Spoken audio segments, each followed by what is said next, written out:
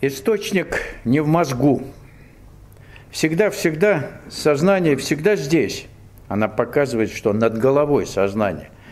Да что сознание, которое полное заставляет функционировать тело. Ну, как бы поаккуратнее выразиться относительно своих ощущений от э, пребывания в тонком вибрационном теле. Пожалуй, э, с учетом поправки матери это можно сделать следующим образом. Ты или то, что называешь теперь собой, или твое индивидуальное сознание растекается куда-то в беспредельность. Вот объяснить это, понятно, невозможно. То есть понять умом это, ну, не то, что практически невозможно, это невозможно.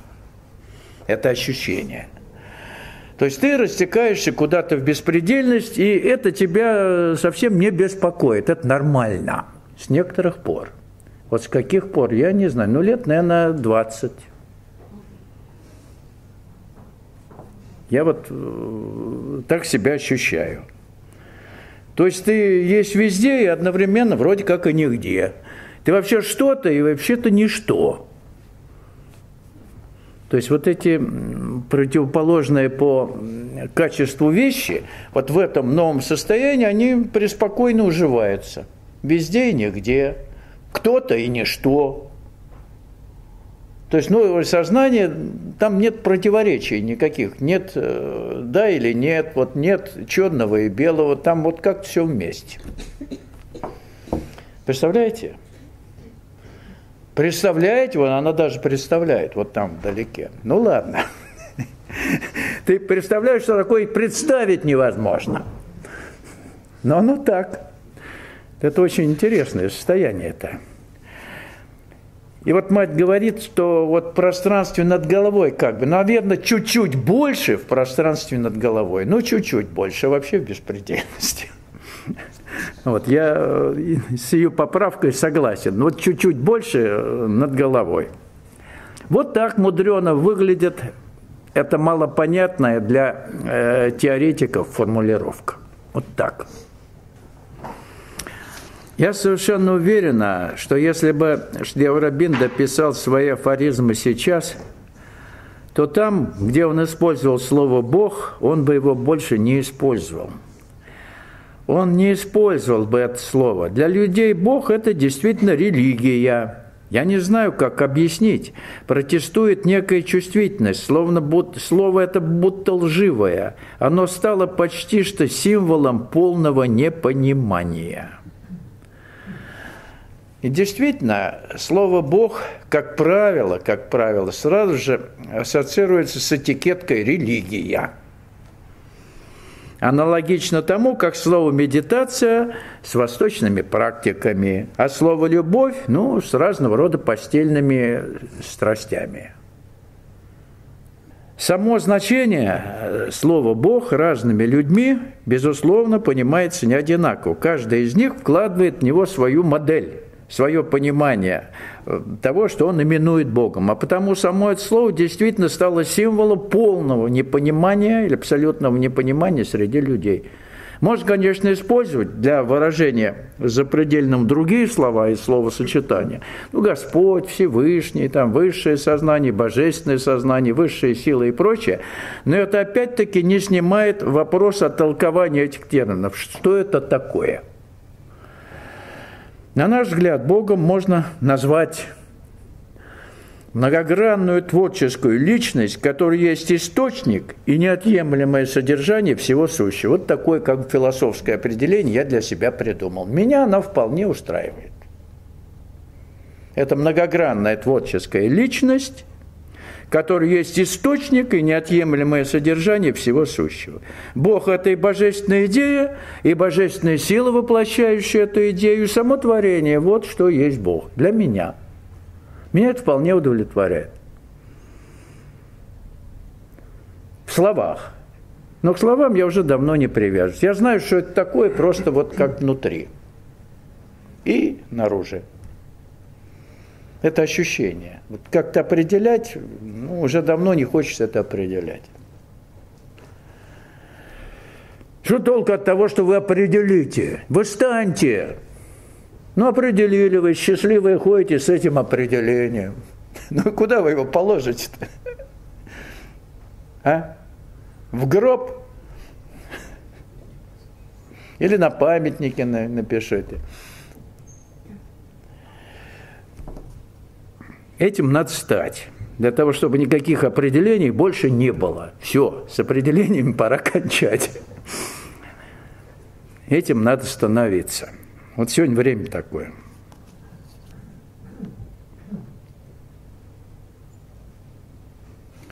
Что интересно, это новое сознание тут, и оно видит, оно видит реакции. По этим реакциям людей я знаю, что они из себя представляют, в каком состоянии, на какой стадии.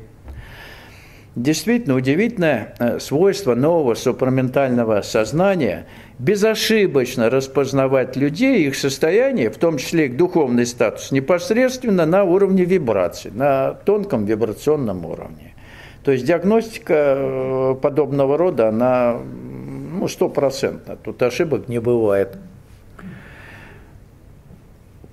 Мы здесь потому, говорит мать, что нас послали сюда делать работу, и пока эта работа необходима, она будет делаться – и когда она прекратится, нам позволят уйти, отдыхать. Ну, возможно, блаженно, говорит она. И действительно, все э, живущие сегодня на земле, призванные Господом или Всевышним, как хотите, для, определен, для выполнения определенной работы, каждой своей работы. И в этом и заключается наше сознательное или бессознательное участие в божественной игре «Найди себя». Для тех, в ком открыт духовный талант, ком он есть и открылся, главная э, задача или главная работа, правильно сказать, здесь на Земле начинается с реализации пути сознательной духовной революции и заканчивается принесением полноценного духовного плода на тонкий план бытия в новом тонком вибрационном теле, носителе жизни вечной. Надо сказать, что это э, сознательная штучная работа, это штучный продукт должен выдаваться этими людьми. Это не какая-то коллективная реализация, а штучная работа творческая. То есть вы должны конкретно, имея духовный талант, правильно его реализовав, принести духовный плод. Все. И не ваше дело, идут ли там по этому пути еще кто-то. Коллективизм здесь просто ну, невозможен. Это э, глупость полная считать, что нужна какая-то критическая масса людей, вот мы в коллективе куда-то двинем в нужном направлении. Ерунда полная. Смотрите, что делается в коллективах, поглядите, самых разных, на любую тему.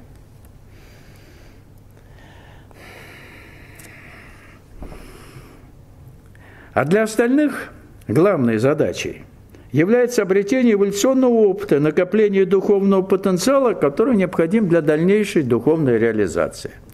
А в социальном плане, в социальном плане каждый на своем месте также выполняет веренную ему работу, призванную способствовать как его собственному эволюционному росту, так и благу остальных людей. И уж как получается, но это другой вопрос. Прежде Витал и ментал были хозяевами тела. Так что было необходимо, чтобы они ушли. Именно через них работала наша истинная сущность и все остальное. Сейчас же с этим покончено. Теперь это напрямую. И теперь возможности тела снова множатся, усиливаются множество. Так вот, до момента окончательного формирования нового супраментального сознания или до времени окончательного проявления нового супраментального сознания наши эгоистические тела, промежуточные эгоистические тела, витальное и ментальное, исполняли роль временных инструментов нашей истинной сущности. Истинная сущность еще была где-то вот на втором плане, а ее инструменты, витальное и ментальное существо, выполняли ну, определенные функции. Вот эти промежуточные вещи. У нас две вещи все настоящие, вы знаете. Наша истинная сущность и физическое тело. А все остальное, но временное и неправильное. Но до времени вот эти наши ложные тела или эго, витальные, ментальные, они служили ну, полуслепыми, что ли, инструментами нашей истинной сущности.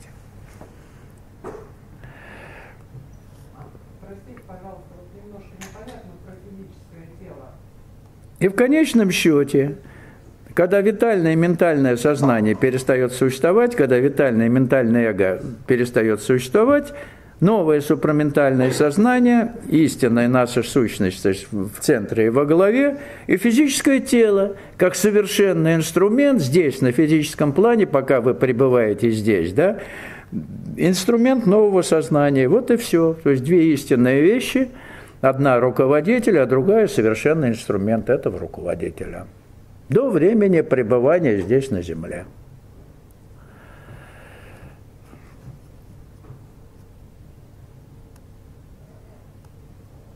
Громадный шаг будет сделан, когда для человека станет естественно стремиться совершенствоваться самому, вместо того, чтобы ожидать совершенства других – да, такое обращение является основой всего истинного прогресса. Первый человеческий инстинкт в этом повинно обстоятельства. Это ошибка людей, это промах, этот такой-то, другой такой-то, третий такой-то. И это будет длиться бесконечно.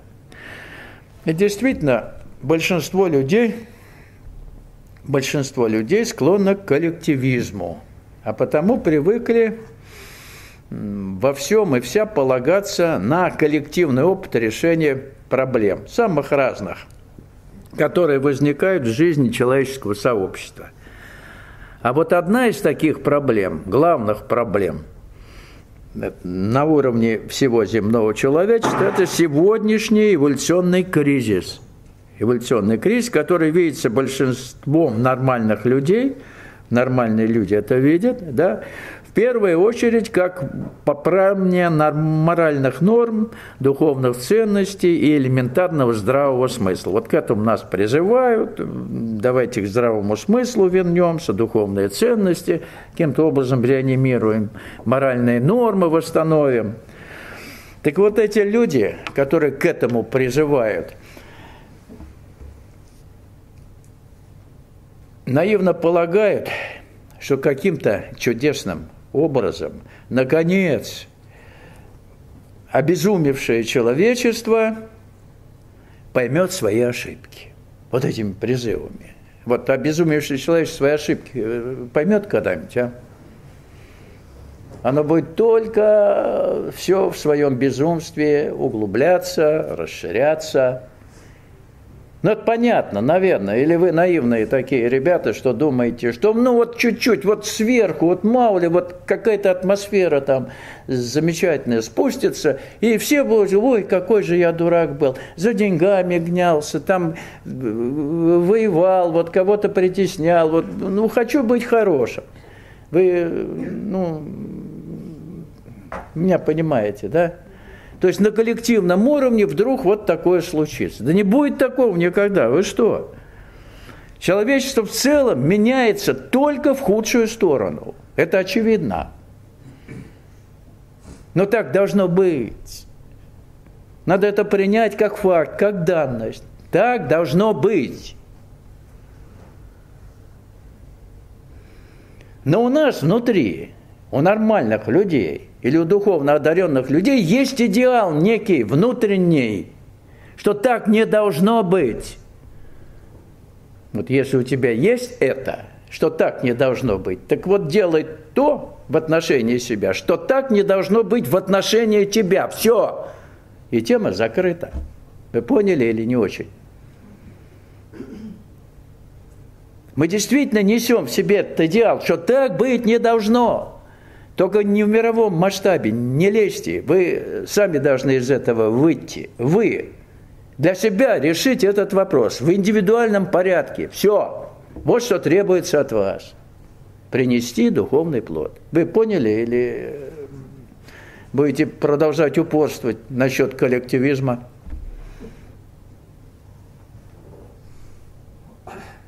Это должно вас вдохновлять. Вы вполне можете это сделать.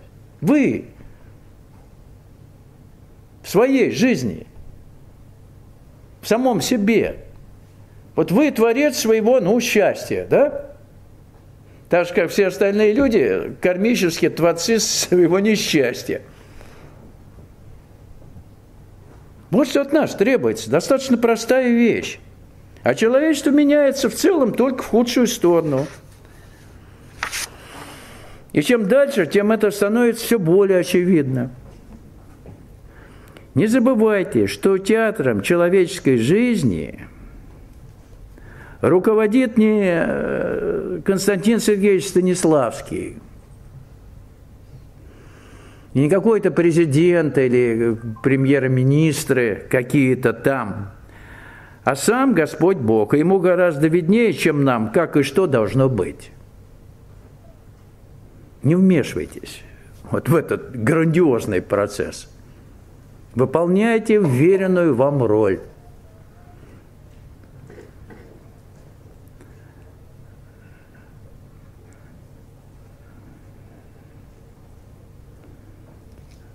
Оказывается, что есть вещи, которые могут и должны решаться только в индивидуальном порядке. Это единственный верный подход к правильному решению главной задачи, ради которой вообще-то мы воплотились на Земле.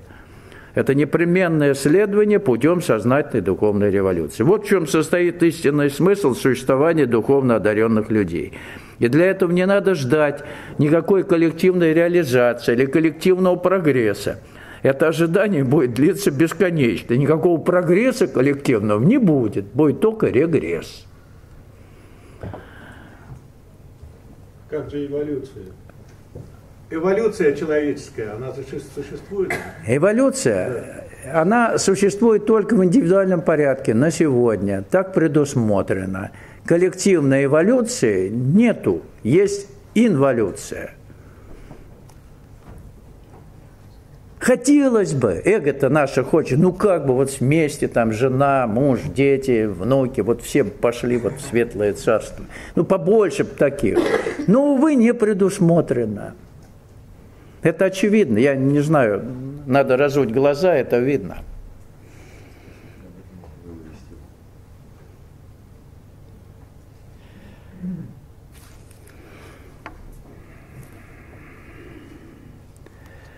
И вот в этом поле напряженности человечество в целом не прогрессирует, а напротив. И вот здесь, вот в этом напряженном поле, внутри себя, вот ощущение вот той истины, которая в тебе заложена, позволяет вот тем самым немногим духовно талантливым людям реализовать свой духовный талант, то есть выполнить свое истинное предназначение здесь на земле, стать семенем нового человечества, то есть стать э, духовными плодами – ну, селекционного такого плана, что ли. Знаете, вот как эм, селекция в сельском хозяйстве. А? Вот посадили много, что намешано, но вот то, что нужно, вот оно. Отобрали и для дела. А так, ну посмотрите просто вокруг. Ну что происходит? Во что превратилось сегодняшнее человечество? То есть абсолютные пустышки. Вот вы поглядите, включите телевизор по любой программе, любой, посмотрите. Искусство так называемое. Искусство кончилось в XIX веке. Музыка кончилась, живопись кончилась, литература кончилась. Ну, отдельные выстрелы были в 20-м, но э, единичные. Оно кончилось, уже его нету.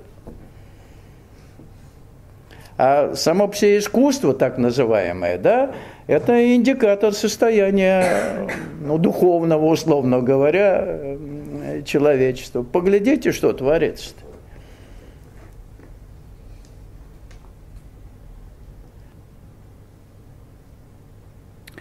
Первый шаг, первый шаг состоит в том, чтобы сказать, если бы я был таким, каким я должен быть, или если бы тело было таким, каким и должно быть, то все было бы отлично.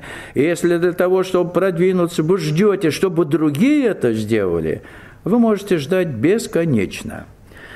И действительно, никто за вас не может выполнить ту работу, которую можете и должны выполнить только вы сами – В первую очередь это касается творческой реализации пути сознательной духовной революции.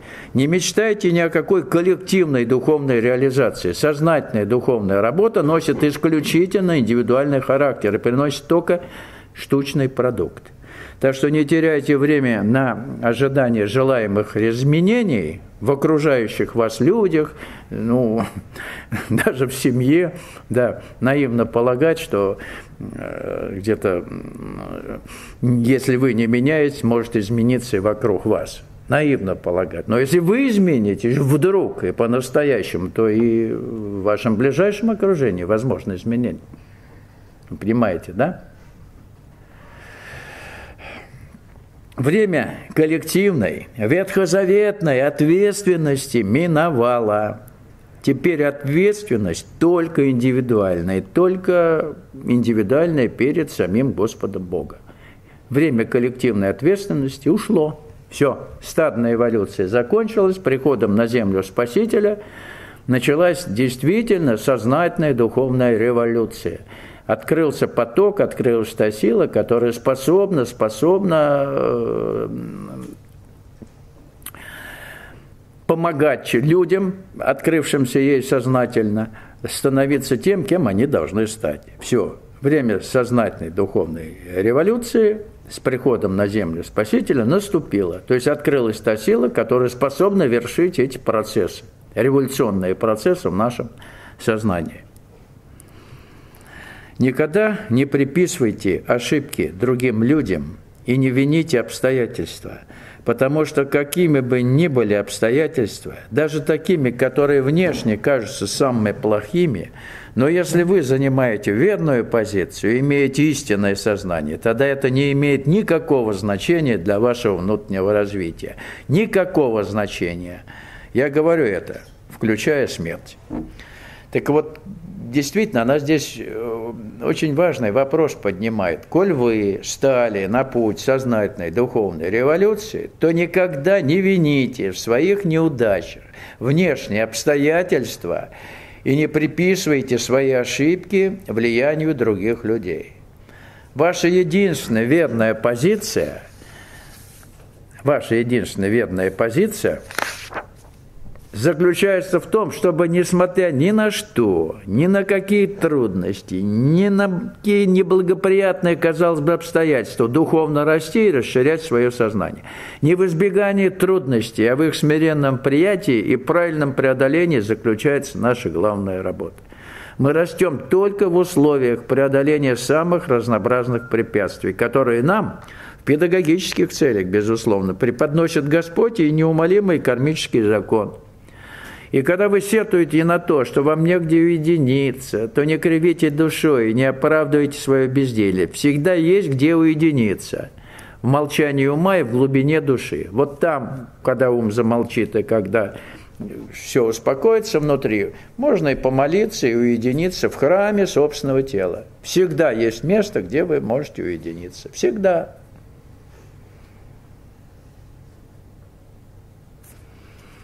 Учитесь уединяться в этом месте.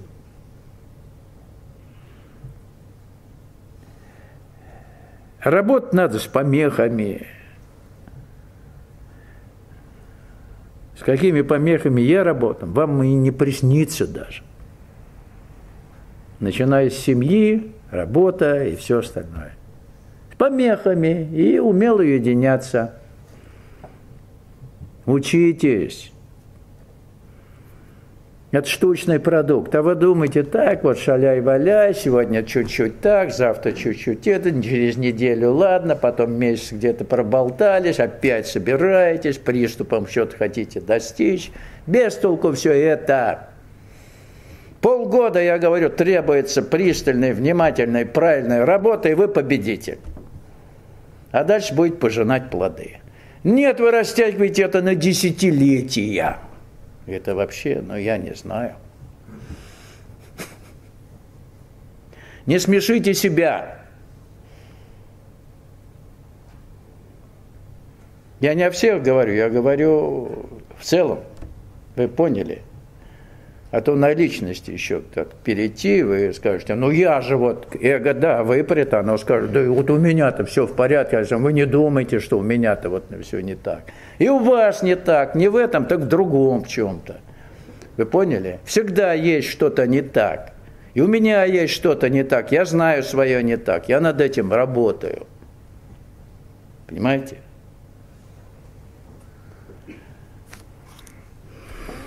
Всегда будет что-то чуть-чуть не так.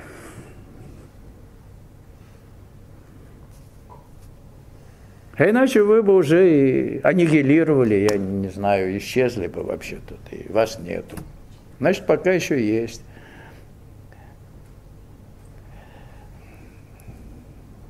Нужда пребывания у вас здесь в теле.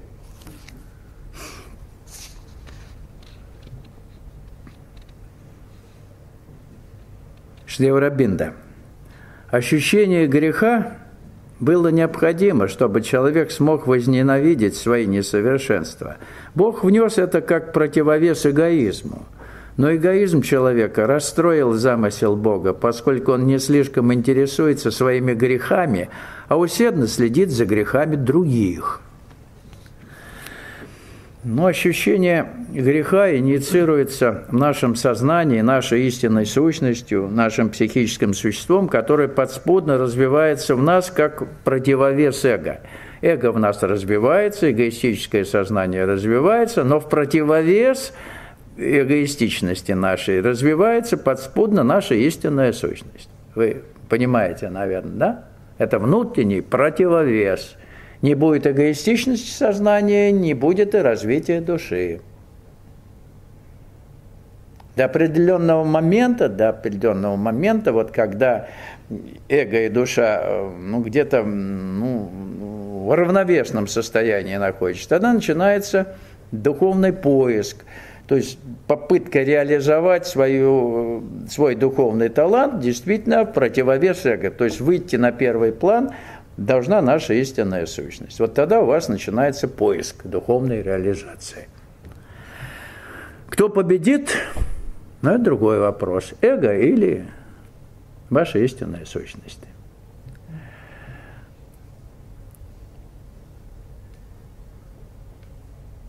Однако эгоистичный человек, вот здесь справедливо говорит Шри Рабинд, он предпочитает совсем другое – не э, глядеть в себя, не э, видеть вот свою эгоистичность и то, что называется греховным вследствие вот этой эгоистической жизни, он внимательно начинает присматриваться к другим людям, отыскивает их греховность, ищет соломинку в их глазу, не замечая бревна в собственно, а по всему неумолимый кармический педагог, вот, неумолимый, мудрый духовный педагог начинает использовать всевозможные средства, вплоть до самых тяжких и болезненных, чтобы взорвавшийся эгоист осознал наконец свои ошибки и действительно занялся главным делом своей жизни, ради которой он пришел на землю.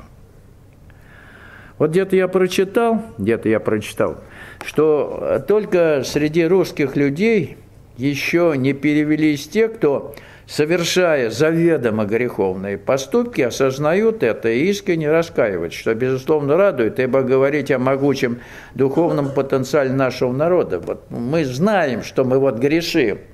Запад, э, все, что он делает, это от имени Бога. То есть все дозволено, вера все оправдывает.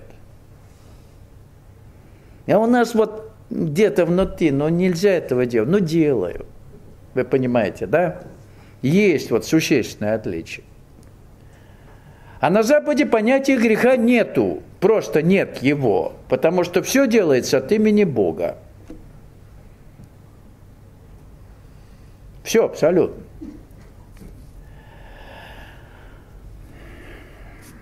Мать. Нельзя вылечить болезнь, если она необходима для развития человека. Телу можно указать направление, в котором ему надо следовать, чтобы вылечиться, но в 99 случаях из 100 болезнь не уйдет. Вот здесь она справедливо полагает, что в неуспехах, неуспехах целителей, врачей повинна прежде всего, ну, повинна в кавычках, да, наша душа, ибо ей гораздо виднее, чем кому-либо, что полезно, а что нежелательно для нашего духовного развития. Внезапно возникшее тяжелое заболевание должно рассматриваться человеком, не исполняющим свое истинное предназначение земного, не как случайность, а как наиболее жесткая форма кармической педагогики. И все.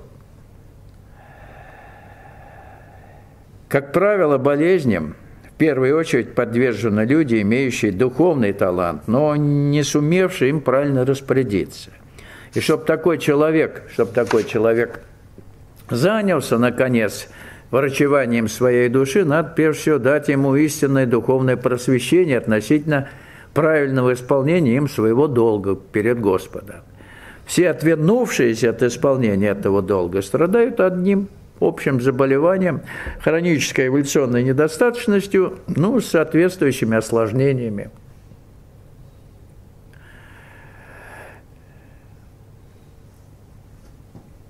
Есть новое сознание, где этого разделения на добро и зло больше нет, где так, называемое, где так называемое нами злом так же необходимо, как, это, как то, что мы называем добром. И вместо того, чтобы отталкивать и отвергать это как нечто, что хочется истребить, а это невозможно истребить, надо подставить это под свет, то есть увидеть это в истинном свете. Так вот, так называемое добро и так называемое зло тесно сосуществуют друг с другом в мире неведения, в нашем мире ментального неведения, в нашем фальшивом ментальном мире. Эволюционная необходимость сосуществования этих вещей хорошо осознается новым сознанием, супраментальным сознанием – благодаря добру и злу, так называемому добру и так называемому злу, в эволюционном поле, а это все земное человечество, создается продуктивная эволюционная напряженность, способствующая росту и огранке душ отдельных индивидов. И все попытки невежественных людей кардинально по своему собственному разумению изменить баланс сил, то есть баланс добра и зла в земном человечестве, оказываются безуспешными. Тому тьма исторических примеров, ибо это противоречит божественному замыслу. То есть на полюсе неведения так называемое добро борется с так называемым злом. Это постоянно действующий процесс. Это должно быть. И пусть будет.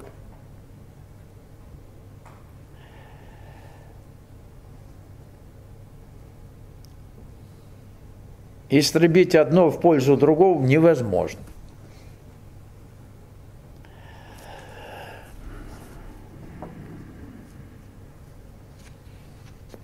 Как только мы можем заменить чувство неодобрения на Всевышнее понимание, дело сразу трогается. Это крайне важно.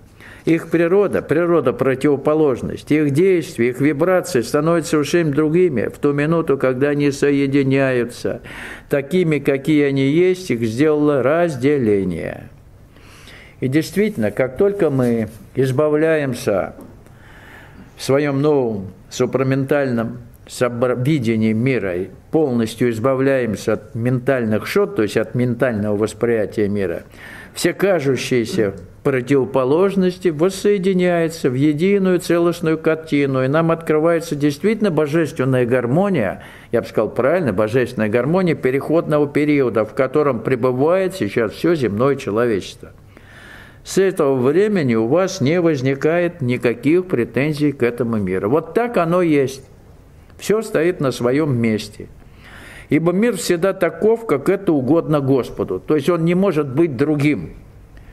Так что начинайте свою работу на пути сознательной духовной революции, в том числе с медитации на социум, как я это называю. Учитесь принимать кажущиеся противоположности в их нераздельной целостности. То есть не, э, не анализируете, не пытаетесь что-то исправить, не пытаетесь что-то как-то оценить, как вам кажется, с правильных позиций, на плохое и хорошее. Вообще оставьте вообще всю аналитику относительно происходящего э, в этом мире. При этом не занимайте ничью позицию, то есть позиции быть не должны умеете во всем видеть божественный промысел. Ибо в таком случае вы из понимающего наблюдателя превращаетесь в апологета неведения, если вы занимаете какую-то позицию и пытаетесь стать на чью-то сторону.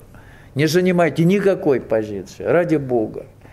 Так же, как я говорю, что исторический процесс надо оценивать, не имея никакой позиции, на основании сочетно действующих законов духовной эволюции. Все.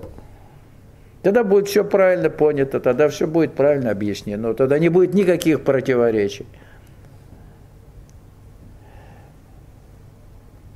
Как-то Паисий Святогорец сказал, что он никогда не никогда никого или ничего не оправдывает. То есть не занимает чью-либо сторону, ибо в мире неведения обе стороны правые, но право всегда отчасти.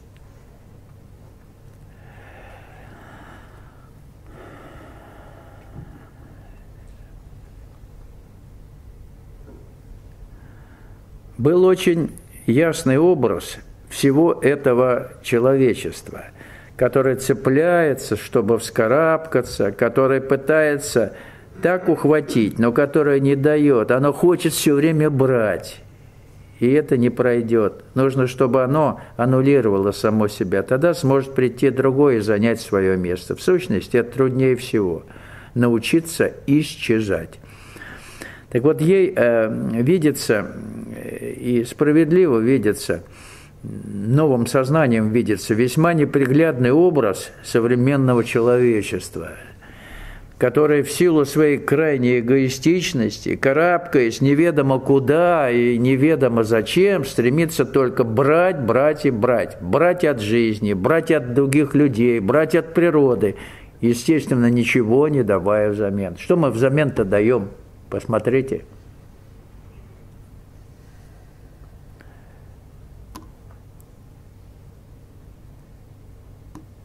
А взамен мы должны аннулировать свою эгоистичность со всеми ее невежественными атрибутами полностью предать себя в руки Господа, в руки трансформирующей божественной силы. Эгоистическое древо, эгоистическое древо, огромное эгоистическое древо, надо свалить – вырвав его с корнями, а корни у этого древа гнев, раздражение, зависть, осуждение и так далее и тому подобного. Иного выхода у человечества нет. Иначе оно вскоре прекратит свое гибельное существование. Об этом красочно повествуется во всех древних пророчествах. Однако это не должно смущать вас, то есть людей, которые выбирают для себя путь сознательной духовной революции. Напротив, это должно служить стимулом к исполнению вашего давнего долга перед Господом. Для этого сегодня имеются все возможности. Для правильной реализации своего духовного потенциала сегодня действительно есть все возможности.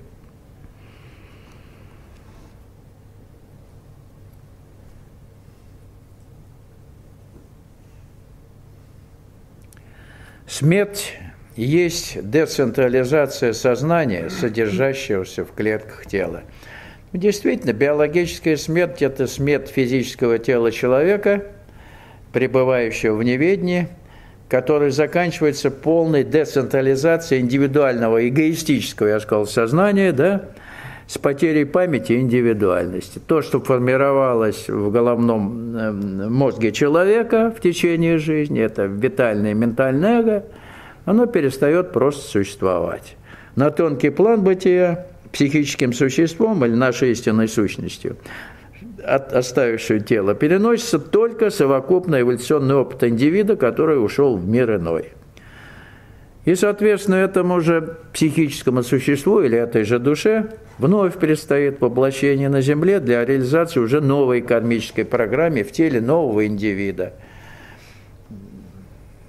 Индивида так и не помнящего своего предшествующего земного родства. Вот мы все такие, пришедшие сюда, без памяти о прошлых воплощениях. То есть все не выполнившие своей главной задачи.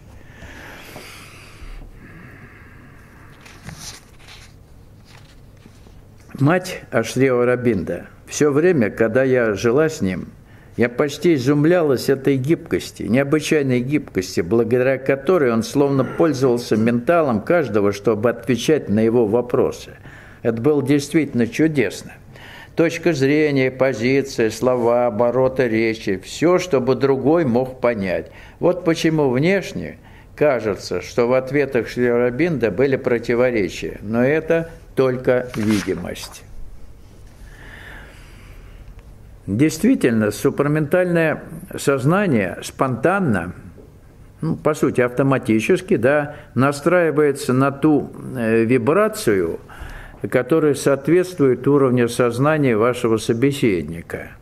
И, соответственно, для каждого из них находится та гибкая форма ментального выражения, которая позволяет вести с ним диалог на равных, то есть на одном языке. Не откуда-то сверху из какого-то э, супер-супер ментала, а действительно на языке понятном тому человеку, с которым ты ведешь ну, беседу. То есть автоматически сознание настраивается и, соответственно, подбираются формулировки, слова, вот, э, выражения для того, чтобы ну, был определенный уровень понимания, а не откуда там сверху с неба там кто-то вещает.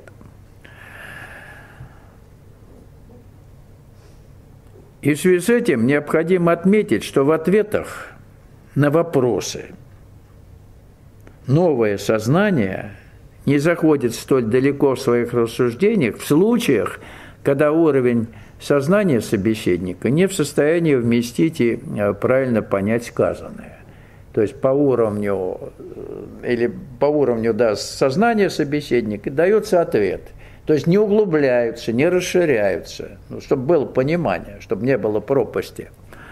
От того может сложиться ложное впечатление, что на одни и те же вопросы, задаваемые разными людьми, даются разные, а порой даже вроде бы противоречивые ответы. При этом вы не опускаетесь на уровень сознания собеседника, а творчески пользуетесь всей палитрой нового сознания, чтобы в ментальных терминах все-таки отразить все необходимое для ясного понимания.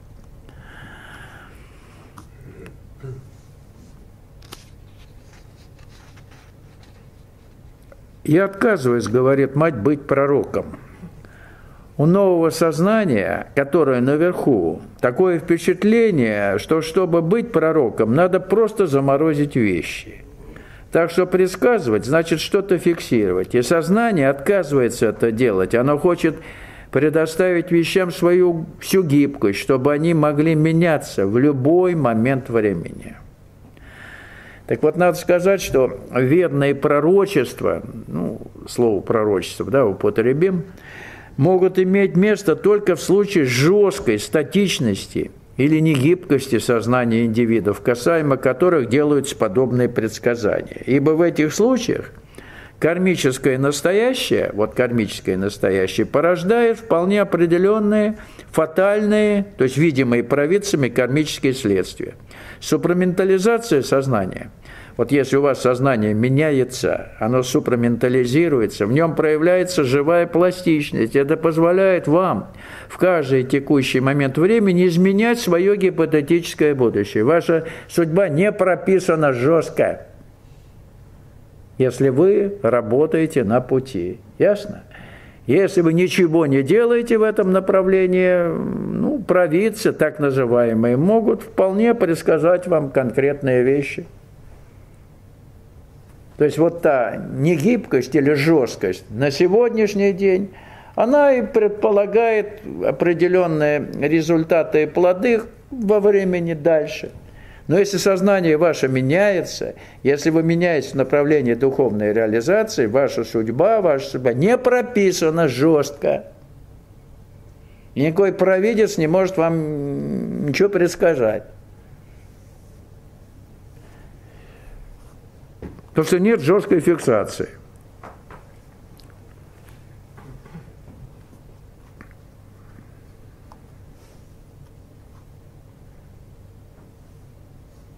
По сути, это и конец фатализма. Когда говорим о фатализме, это если человек не меняется с рождения, он остается тем, кем он был, ну, где-то с возраста 20-25 лет. Я знаю людей, которые вот нисколько не изменились спустя там 50 лет. Ну, те же самые люди. Скучные, нудные, только нудистика более такая глубинная. А так вот все вот эти черты, которые были, они остались. Ничего не меняется. Прискорбно, но это так.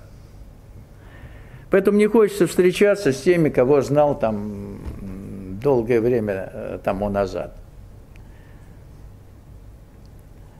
Это как на кладбище. Это, ну, на кладбище хоть там тихо, тихо. А тут вот живые мертвецы с этим ничего не поделаешь.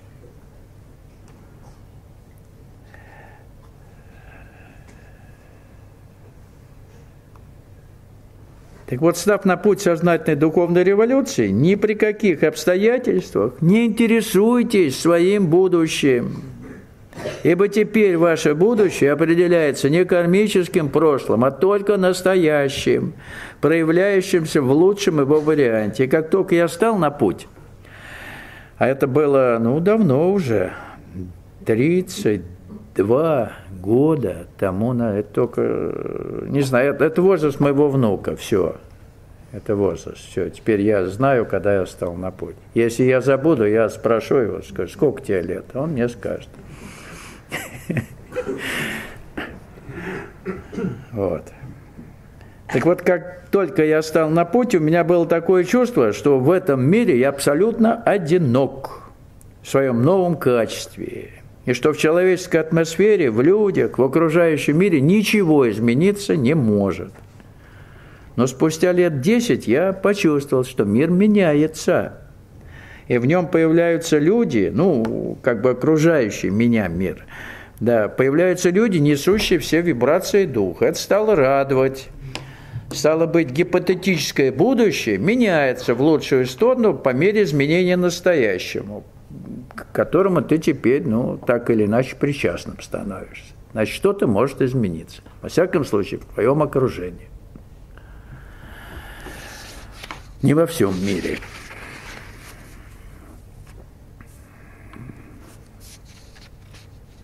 К сожалению, здесь, на земле, все стало таким затвердевшим, и в этом ложь творения, и не надо способствовать этой лжи. Но то, что все на земле стало костным и затвердевшим, то есть безжизненным, это заслуга ложного ментального сознания, итог его процветания в земном человечестве. Ментальная фиксация всего и вся в определенных формах и качествах породила иллюзию двойственности окружающего мира, разделив все сущее в нем на хорошее и плохое, на добро и зло – и так далее и тому подобное. То есть ментальное сознание пытается противопоставить божественной динамике консервацию старого, консервацию лучшего из старого. Но старое есть старое. Как не консервируете лучшее из старого, это уже старое. Все.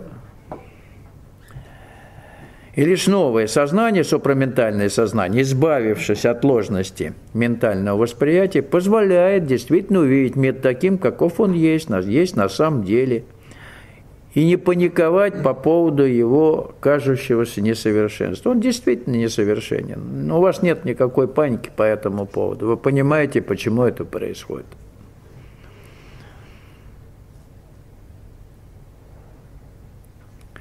В одном из своих афоризмов Шдеврабинда говорит, что атеизм был необходим, чтобы уравновесить религии, которые нанесли такой ущерб.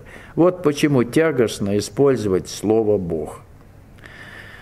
Но атеизм э, во все времена, во все времена был э, своеобразным противовесом изначально прогрессивной, но со временем неизбежно косневшей основы религиозной жизни – начинавший наносить ущерб духовному становлению людей, людей, которые искренне стремятся обрести истину и недовольствуются более крохами церковного стола, вот той манной кашей, которой пытались накормить его духовные пастыри. И это явление полностью укладывается в диалектику Господа, не допускающего искажения его собственных замыслов относительно земного человечества, то есть относительно нас с вами. Атеист, давайте используем это слово правильно, атеист – это потенциальный верующий нового, выстраданного временем духовного формата. Вот и все. Он отвергает старое, костное и ложное. И это замечательно. То есть вы же все атеисты, иначе вы в храме бы были, да? Чего вы туда не идете? А? Были или нет? Не тянет? Атеисты. Вот приходится с атеистами. Как хорошо с атеистами-то. Они все слушают, они ведь им дал вот почитать там закон Божий, еще что-то. Они все счастливые. И пастор счастливый. А вы все вот сопротивленцы такие вот, каждый по-своему. Но это хорошо. Главное, чтобы в нужном русле э, все-таки вы находились, в указанном русле. И будет все в порядке. Индивидуальная творческая работа на этом пути – это все. А коллективное, так сказать, вот это вот самое э, церковное единство, мы это уже проходили – проходили, мир это проходил, проходил неоднократно, толку от этого в плане принесения духовных плодов никакого.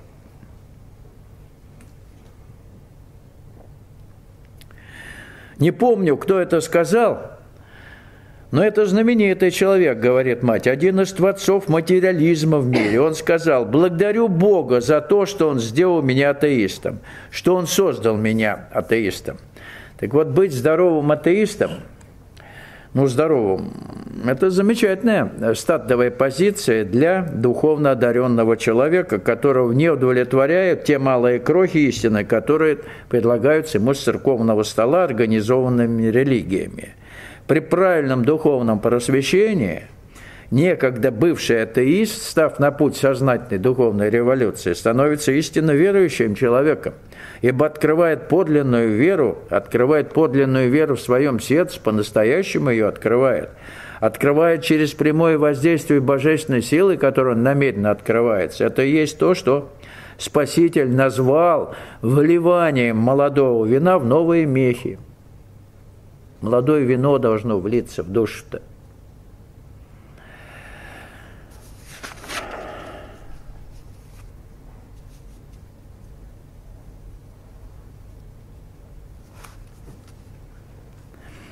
Для всех самых обычных житейских действий происходит демонстрация того, что если допускается эго, чтобы дать нам понять, что это точно так, то это может привести к резкому ухудшению здоровья, что единственное средство заключается в исчезновении эго, тогда сразу же исчезнут и все болезни. И так во всех вещах, которые мы считаем самыми неважными. И так во всем, во всем, во всем, все время, все время, все время, день и ночь.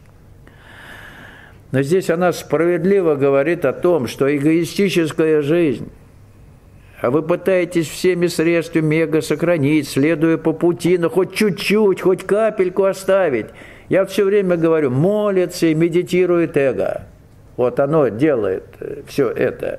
Если вы до скончания века продолжаете какие-то манипуляции, э, так сказать, ну, методические ухищрения использовать в духовной работе, то эго вас не оставляет. А эго или эгоистическая жизнь – это вечная болезнь.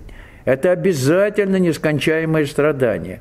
Этому никаких доказательств не требуется. Если вы обрели принципиально новое сознание, то есть сознание свободное от эгоистических притязаний, если у вас пробудилась принципиально новая супраментальная жизнь, жизнь без страхов, сомнений, страданий, болезней и смертей, как не банально это звучит, но все действительно познается только в сравнении – а у вас теперь есть что с чем сравнить. То есть, если вы вышли полностью из эгоистической жизни и стали, так сказать, в новом качестве э, жить э, абсолютно, так сказать, ну, не испытывая страхов, сомнений и страданий, в том числе то, что называется болезнями, да, то действительно э, только в сравнении можно познать то, Э, что теоретически вроде бы хорошо разжевано, но теория есть теория, а на практике это совершенно другое дело.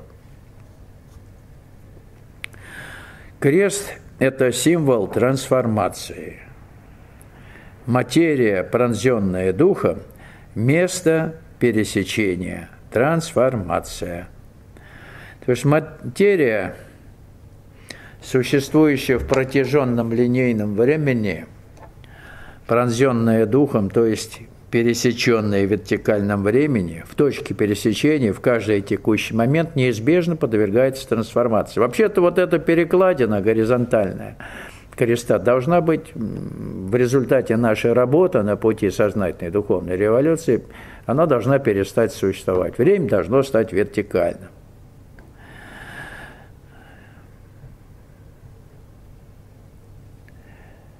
Шдеврабинда –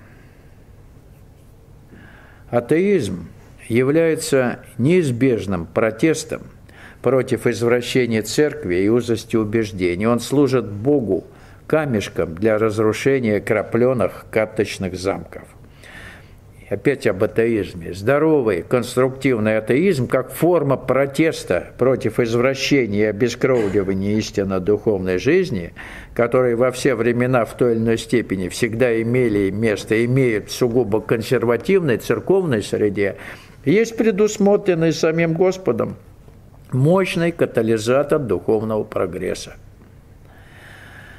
Шдеврабинда, сколько злобы и глупости – людям удалось декоративно упаковать и наклеить на этикетку религии. Ну, понятие религии во все времена, во все времена было наполнено содержанием, мягко говоря, оставляющим желать лучшего. История той же христианской религии или христианской церкви в разные периоды ее существования изобилуют примерами далеко не христианского образца – Тут вам и инквизиция, крестовые походы, и фактическое отвержение истинного учения Спасителя, а православная церковь, гонение на староверов, да? Это что такое? Это инквизиция страшная была. Надо правильно понимать. То же самое, что на Западе так что будьте предельно осторожны, не принимайте слепо на веру, когда вам говорят о непогрешимости церкви. В одном из своих посланий папа Иоанн Павел II на вопрос, кто, вы думаете, виноват в расколе христианских церквей, ответил следующее. Посредственность, посредственность внутри каждого из расколотых движений. Этот папа польского происхождения был очень интересным во всех отношениях человеком. Я знаком с его философскими рассуждениями на духовные темы. Они во многом правильные и соответствуют нынешнему времени. Диагноз он ставит правильный. Сейчас новые папы, там уже совсем новые, и вообще все новое, трансгендеры и все остальное. Это был последний папа, вот последний папа, который, ну, еще как-то адекватно отражал э, в своем сознании существующий мир. Он не говорил, как это преодолеть, но диагноз ставил правильно.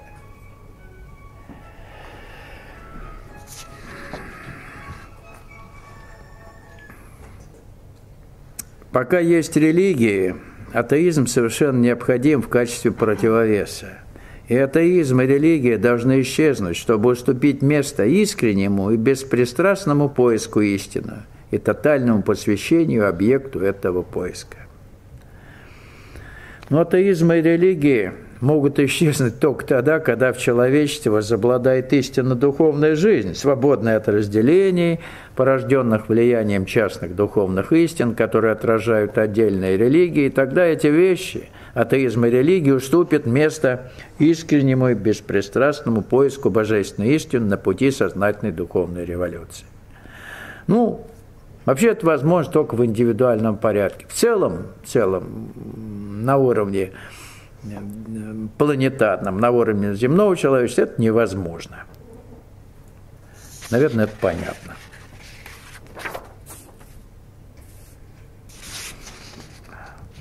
Мир готовится к большому изменению.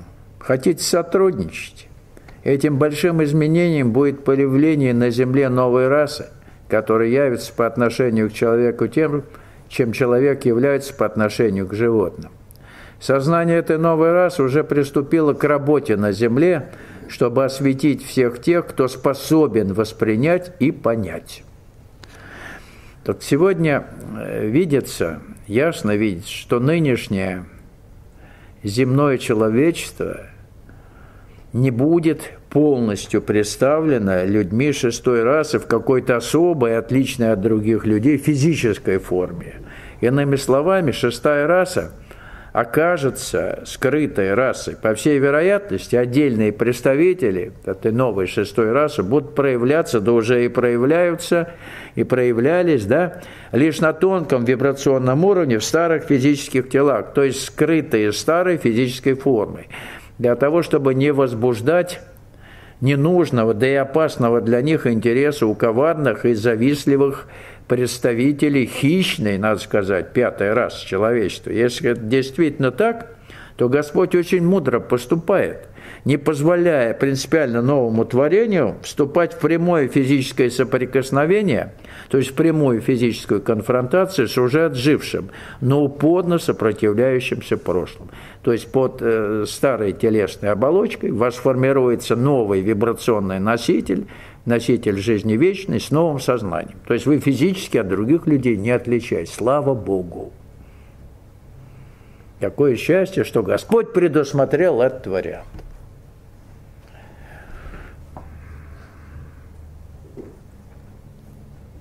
По оставлению физического тела представители шестой расы будут пополнять и уже пополняют собой полюс света на тонком плане бытия, то есть фактически по своему статусу становясь представителем, наверное, седьмой расы, что ли. И так, по-видимому, будет продолжаться вплоть до грядущего квантового скачка эволюции, до взрывного изменения материальности нашей планеты с рождением новой Земли, новых небес и нового человека – так вот, исходя из сегодняшнего практического опыта реализации пути сознательной духовной революции, становится очевидным, что представители шестой расы будут обладать принципиально новым супраментальным сознанием, полностью лишенным эгоистичности и с реализацией в жизни сверхсознательной психической деятельности, то есть сверхсознательной спонтанности, которая инициируется исключительно высшей волей или божественной волей. То есть это новое человечество в принципиально новом качестве, с принципиально новым сознанием. То есть, по сути, это инструменты Господа. Вот то, что вы сегодня способны явить или проявить себя здесь, на земле, это вот то, э, о чем вот мы сейчас с вами говорили. Вот что я усвоила. Религии оказались несостоятельными из-за того, что были отделенными. Они хотели, чтобы была одна религия, исключающая другие религии. Все человеческие знания оказались несоверш... несостоятельны, потому что одно знание исключало другое. И человек оказался несостоятельным из того, что он исключал одно ради другого. А то, что хочет новое сознание, чтобы больше не было никаких разделений. Все религии все некогда сформировавшиеся направления человеческих знаний, научных, философских и социальных, ну и прочих, да, претендовали на абсолют, противопоставляя себя всему остальному со временем появлявшемуся в этих же сферах человеческих изысканий. А потому неизбежно возникали разделения – формировались тонкоматериальные эгрегоры, в частности, эгрегоры различных религий. Одно отвергалось ради другого, и все в конечном счете оказывалось несостоятельным, ибо не отражало истинного состояния вещей из-за отсутствия единого видения, интегрального видения. То есть не было единства ни в чем. И причина тому – ложное, неизбежно разделительное, эгоистическое ментальное отражение окружающего мира. Вот ментальное сознание, оно не может интегрально видеть все происходящее, не может интегрально почувствовать вот то, что исходит от Господа, вот той самой истины. А новое супраментальное сознание, сознание истины, не имеет точек зрения, оно не имеет никаких предпочтений, оно просто доподлинно знает, то, что находится в поле его внимания, констатирует это как факт. Непреложный факт, не требующий никакого ментального объяснения, ментального анализа, ментального обсуждения. Все это ранее виделось да, все, что ранее виделось в ментальном сознании в качестве противоположности или как противоположности, в новом сознании просто перестают существовать, ибо они являются лишь частными проявлениями истинных вещей, частности определенные, но в новом сознании, интегральном сознании, частности, они перестают существовать. Что касается тонкоматериальных эгрегоров, то все, что находится под влиянием любого из них – несет в себе только часть истины, несомненно. Для существования эгрегора любой религии требуется постоянная подпитка, подпитка энергии, получаемой им в качестве своеобразной пошлины энергетической от связанных с ними людей. Особенно интенсивно, по словам Даниила Андреева, я здесь с ним абсолютно согласен, он в этом абсолютно прав – отток энергии к эгрегорам происходит у людей в ночное время. Если ты с каким-то эгрегором религии или партии или какого-то движения связан, то в ночное время в состоянии покоя от тебя исходит этот поток. Он наполняет эти эгрегоры, он подпитывает их. Вместо того, чтобы стяжать божественную благодать в ночное время, стяжать ту силу, которую ты открылся в работе на пути, да, люди, которые не следуют э, тому, чему бы следовало следовать, они питают без того своей скудной энергетикой вот эти эгрегоры. То, что они выбрали в качестве какого-то ну, спасительного образования для того, чтобы чувствовать себя в безопасности.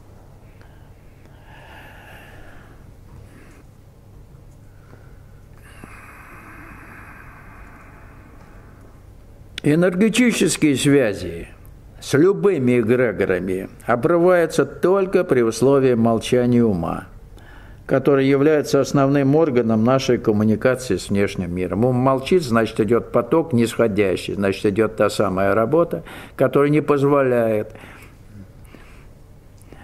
питать какие-либо эгрегоры э, по тем каналам, которые до того были у вас открыты. В молчании ума мы открываемся потоку божественной силы, которая перекрывает все остальные энергетические потоки. Они все перекрываются, они блокируются.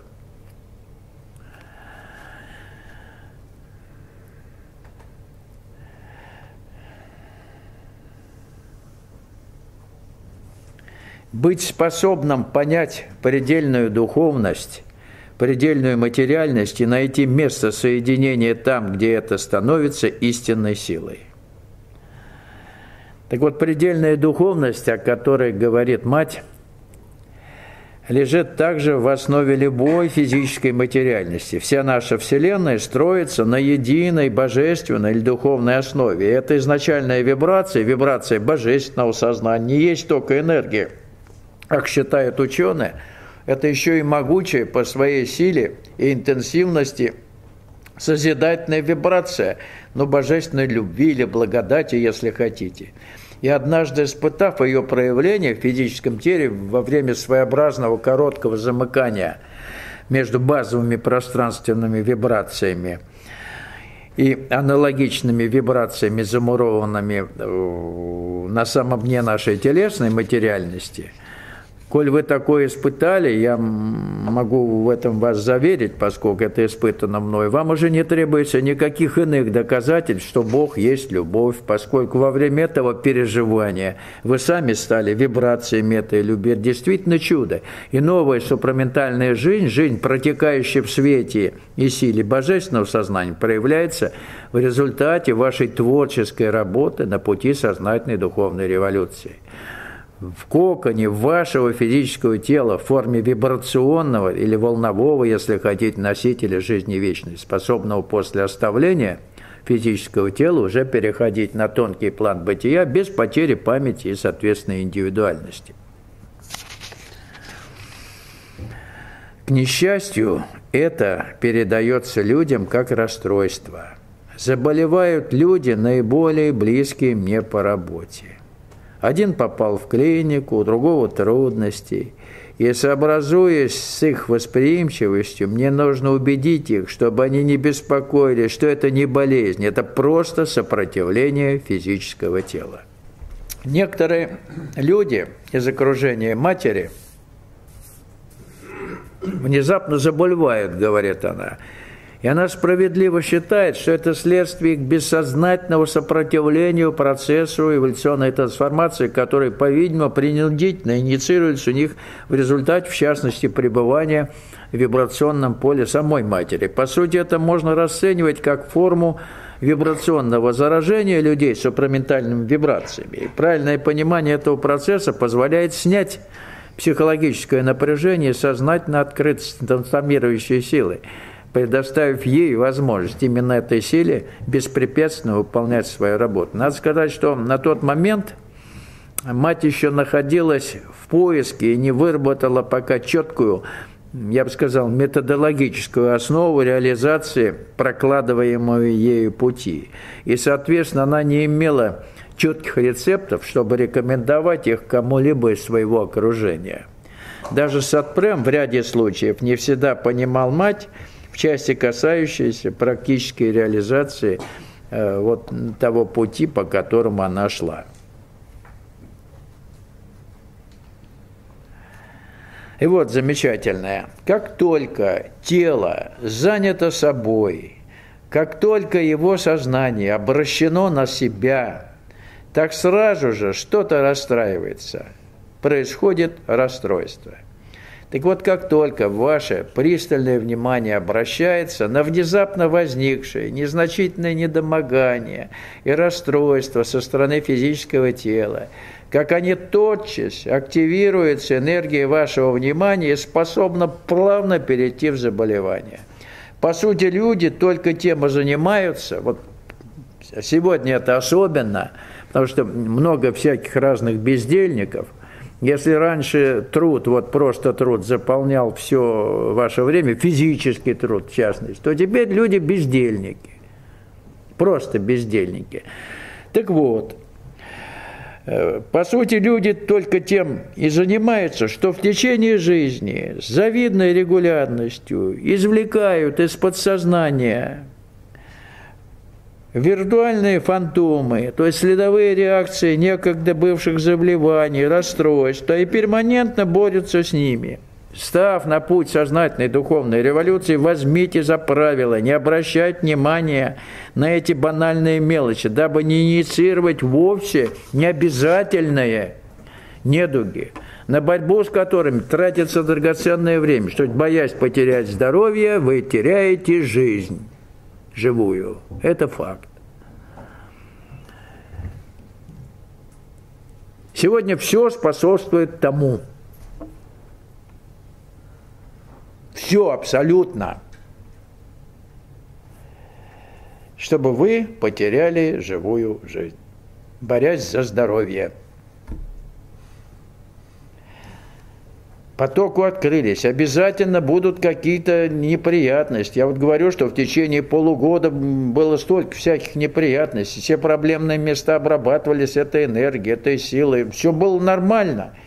То так это, то это не то, то... Ну, все как-то не так, но за полгода все встало на свои места. А если у вас это годами, годами, годами, то, наверное, это что-то не так. Если по-настоящему, то довольно быстро все должно установиться. Если по-настоящему. А если не по-настоящему, ну, значит, не по-настоящему. Одна болезненно увлеченная своим здоровьем женщина, с которой мне довелось случайно встретиться, рассказала мне, что у нее имеется прибор, с помощью которого она может лечить и превращать все свои недуги, то есть предотвращать сама. Вот прибор приобрела на прибор этот обычный планшет заряженным, как она говорила, заряженным темной энергии космоса. Она меня спрашивала, знаете, Александр Васильевич, что такое темная энергия? Я сказал, ну, еще есть и темная масса, ну, в общем-то, все темное. Так вот, э, у нее планшет заряжен темной энергией космоса. Он содержит весь список болезней и расстройств, которые встречаются в медицинской практике, от я до я, от А до Я. То есть, ну, такие наиболее распространенные вещи. И как только что-то нежелательное в организме дает о себе знать, женщина точно находит нужный пунктик. Она сама ставит диагноз и отправляет все это в темную материю. Представляете, замечательно, э, то есть самолечение феноменально, она не успеет заболеть даже ничем, она все это в темную энергию отправляет. Вы, ну, вы представляете, вот вам бы такой вот приборчик-то. Все просто, нажал кнопку и снова здоров. Так вот, я спросил ее, как часто она кнопки-то нажимает. Регулярно, раз 10 в день. То есть в течение дня в 10 местах у нее что-то заболевает, и она все отправляет в темную энергию. То есть есть чем заняться. Понимаете, вот, раз 10 в день. То есть 10 раз она начинает заболевать, и все это сливает в темную энергию. Вот так вот.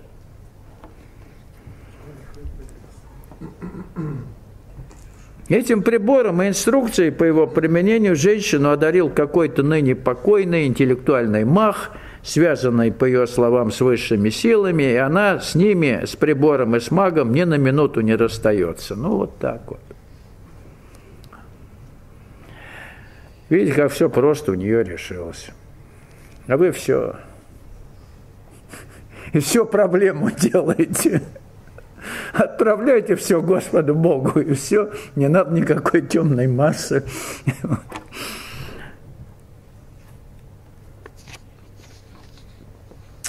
Это особый вид восприятия. Нет больше деления на органы восприятия. Оно тотальное. Это одновременно видение, слух и знание. Это некий новый вид восприятия. Это заменяет знание – но как только хочешь настроиться на план знания, так это кончается, просто теряешь контакт. Так вот, новое супраментальное восприятие не есть традиционное восприятие ну, окружающего мира посредством физиологических органов слуха и зрения. Это действительно тотальное восприятие на вибрационном уровне, где помимо зрительных и слуховых образов – присутствует и прямое знание предмета наблюдения. Прямое знание. Интересно, что при этом зрение, слух, обоняние, осязание вообще-то в целом предельно утончаются, и диапазон их чувствительности существенно расширяется. Это новый феномен, новый феномен интегрального или целостного восприятия можно назвать прямым супраментальным видением, не допускающим ошибок. Однако любое самое малейшее вмешательство рассудка в процессе супраментального восприятия точно его нарушает. Иными словами, ум и супраментальное сознание не могут быть задействованы одновременно. Как только ты пожелаешь что-то узнать, супраментальное сознание перестает существовать. Вот на начальных этапах, переходный период, когда супраментальное сознание еще не полностью устоялось, если ум вдруг задаст вопрос, там что-то узнать, супраментальное сознание, все, оно не функционирует. То есть оно функционирует только тогда, и только те знания извлекает, которые в данный момент, в данной ситуации необходимы. Любопытствовать бесполезно. То есть знания дозированно отпускаются при необходимости. Если они не необходимы, ты знаешь, они есть. Все знания есть, но ты не интересуешься у тебя нет интереса узнать что-либо. То есть любопытство – это порог эго. Люди очень много говорят о единении, но у них нет ни малейшего представления, что это такое.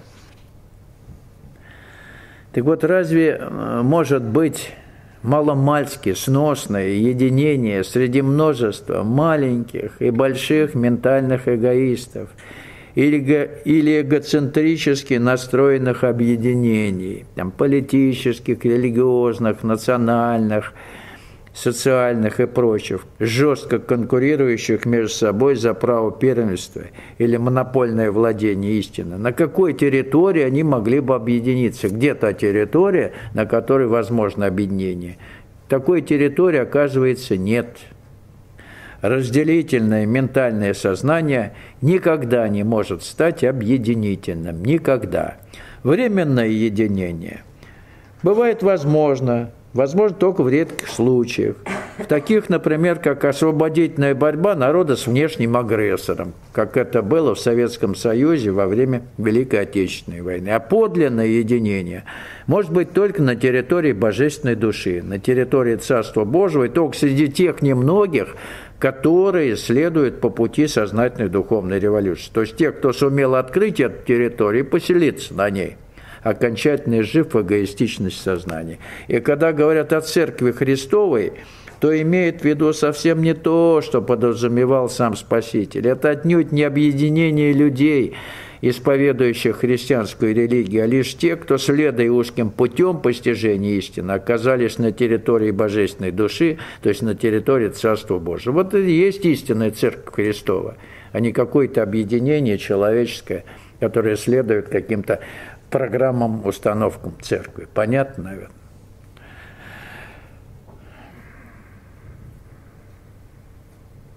Почему люди хотят поклоняться? Гораздо лучше становиться, чем поклоняться. Я почувствовала, что эта лень к изменениям заставляла людей поклоняться.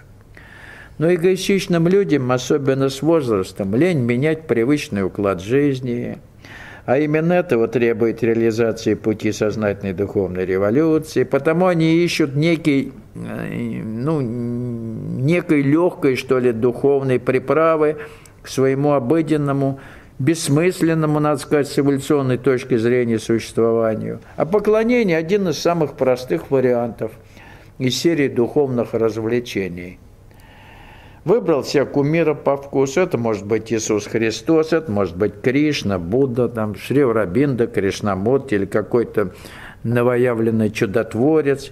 И регулярно отдавая ему почести согласно заведенным ритуалам. Не обязательно церковным или магическим. Вы сами можете для себя эти ритуалы изобрести. А что потом? А потом может быть следующее. Поклонялись вы, например, Иисусу Христу, использовали Его имя, молились исправно. Вот. Кстати и не кстати. А на суде, когда придется дать э, индивидуальный ответ за то, что вы э, в духовном плане сделали, э, можно от него услышать не знаю вас, отойдите от меня, делавшие беззаконие. Помните, в Евангелии написано? Не знаю, отойдите. Вот так. Вред, который вы причиняете умышленно, всегда возвращается к вам в той или иной форме. Замечательно сказано, проверено на практике изумительно – Кармическое воздаяние за умышленно причиненный вред людям или животным неминуемо. Кармический педагог никогда не оставляет это без внимания. Особенно наглядно я убедился в этом незадолго до того, как встал на путь сознательной духовной революции. На пути я еще не был, так вот, будучи в состоянии справедливого гнева, я тайно естественно, намеренно отомстил своему обидчику довольно коварным способом. Не буду уточнять, каким. Вот. И что вы думаете? На следующий же день, на следующий со мной произошло то же самое, один в один. Вот как так бывает? Случайно не бывает. Я еще на путь не встал, но мне показали. Вот, вот смотри, вот твой справедливый гнев. Вот один к одному. Вот так вот придумать даже невозможно. Как так все, чтобы совпало, чтобы вот то же самое. А? Ну вот как? У меня таких примеров наглядных, ну, в разных, так сказать, аспектах духовной реализации, не только вот в этом вот негативном, очень много. То есть вся палитра вот этих возможных чудес, так называемых, превращений, она, наверное, испытана. Очень интересно много чего могу рассказать. И вот как тут не поверить в божественную справедливость? Так что прежде чем намеренно творить зло, сделайте паузу и подумайте о неминуемых кармических следствиях. Они видят, у них идеи, они всегда полны идеями, у них идеи, они видят, другие видят другое, имеют другие идеи, пока они не отказались от собственной маленькой персональности.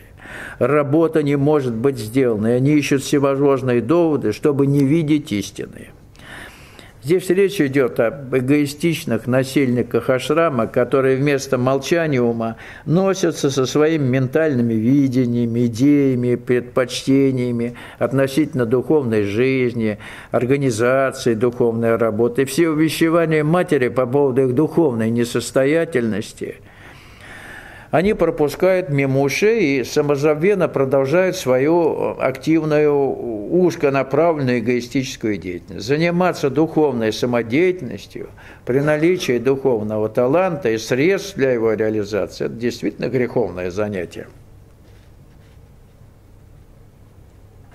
Сатпрем – у людей тысяча и одна трудность. На самом деле существует только одна трудность. Есть тысяча и одна грань одной и той же проблемы. Так вот, все неисчислимые человеческие трудности проистекают из одного источника – из разделительного ментального сознания, формирующего ложный эгоистический взгляд людей на окружающий мир и на самих себя. Остановите ум – и масса вовсе не обязательных, большей частью виртуальных, то есть надуманных трудностей и проблем просто перестанет для вас существовать. Остановите ум и посмотрите, что будет. Я сейчас занимаюсь воспитанием своего сына, он действительно всерьез занялся делом, и мы ну, почти каждый день с ним беседуем по телефону. Вот он массу интересных вещей мне рассказывает, ну, как бездельник, который Господу молился, там что-то делал, понял, что это пустое, вот, ну, ну, то есть развенчивает сам в себе вот все глупости. И теперь действительно серьезными вопросами ну, ко мне обращается, даже ну, кое-какие вещи на историческую тему. Я к нему прислушиваюсь как критик, он меня начал радовать. На 50 каком? Втором году жизни он начинает что-то делать. Всерьез. Представляете? Вот я так на него смотрю, смотрю, да, молодец. Ему жена хорошая попалась. Если бы попалась поострее, то бы он раньше ровность выработал. А она вот у нее такая нормальная, покладистая. Поэтому он это, сам, задержался на стадии становления. Вам надо жен таких, чтобы вот ну, мужикам, чтобы все рвало и металло вокруг. Вот только тогда будет э, ранний плод. Понятно? А так вот так убаюкиваетесь и все. Ну ладно, у каждого свое. У каждого свой вариант, только не своевольничать. Куда Господь поставил, там и стойте. На смерть стойте, чтобы победить смерть. А трудность одна, да, ментальное сознание. А это что такое ментальное сознание? Это отпадение от Господа. Ну и все. И грех один, и страх один, страх смерти, болезнь одна, хроническая эволюционная недостаточность. Вот и все. Вернитесь домой, проблем не будет.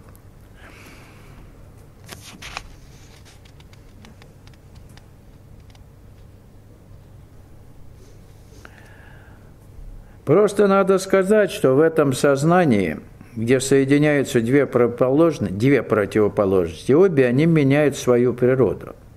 Они не остаются тем, чем были. Они не сливаются и не остаются теми же самыми. Обе меняют свою природу. Это чрезвычайно важно. Их природа, их действия, их вибрации совершенно другие с той минуты, когда они соединились. На самом деле, такими, как они есть, их сделало разделение.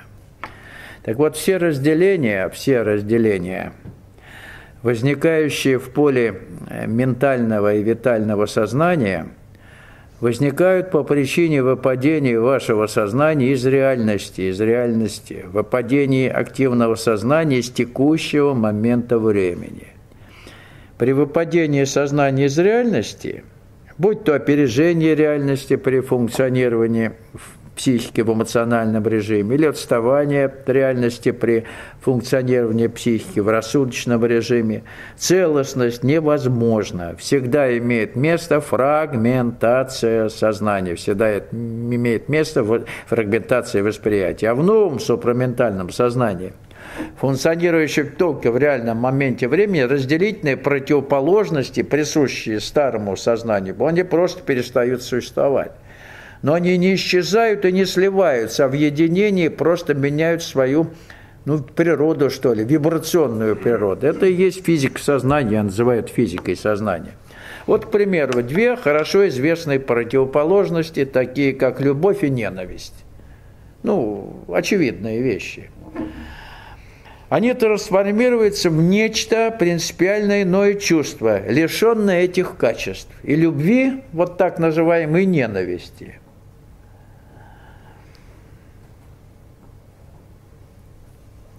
Поле эгоистического сознания любви всегда в той или иной мере сопутствует ненависть. Неизбежно возникает она по причине психологической или физической зависимости от объекта любви.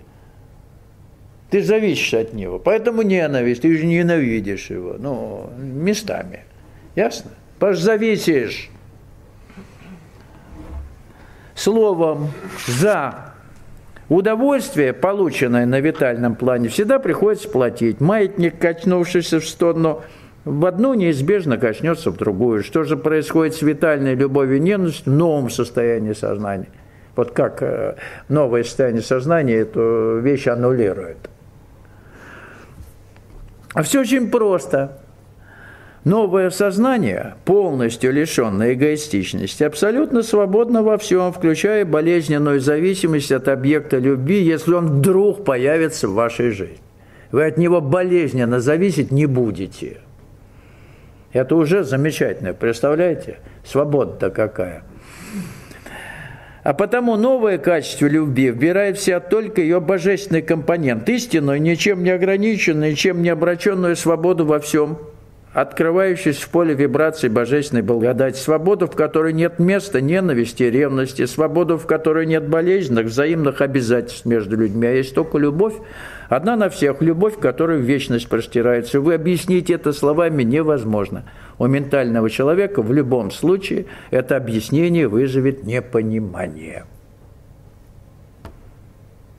Научить этому нельзя. Научите вот так любить. Новое сознание, вот оно в новом качестве и, э, формирует или определяет ваши отношения ну, к другому человеку. Вот и все.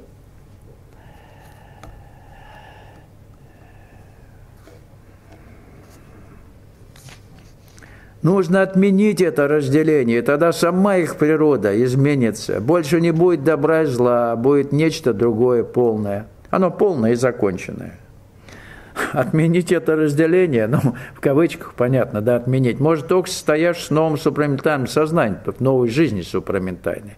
А для обычного ментального сознания никакими усилиями отменить это невозможно. Для него вся, да, для него все творящееся вокруг, все творящееся вокруг, для ментального сознания, всегда будет полниться раздирающими противоречиями противоборствующие добро и зло, являют собой полюс неведения в земном человечестве, а супраментальному сознанию в мире видится гармония. То есть гармония переходного периода. Ничего нет случайного, ничего нет плохого и хорошего.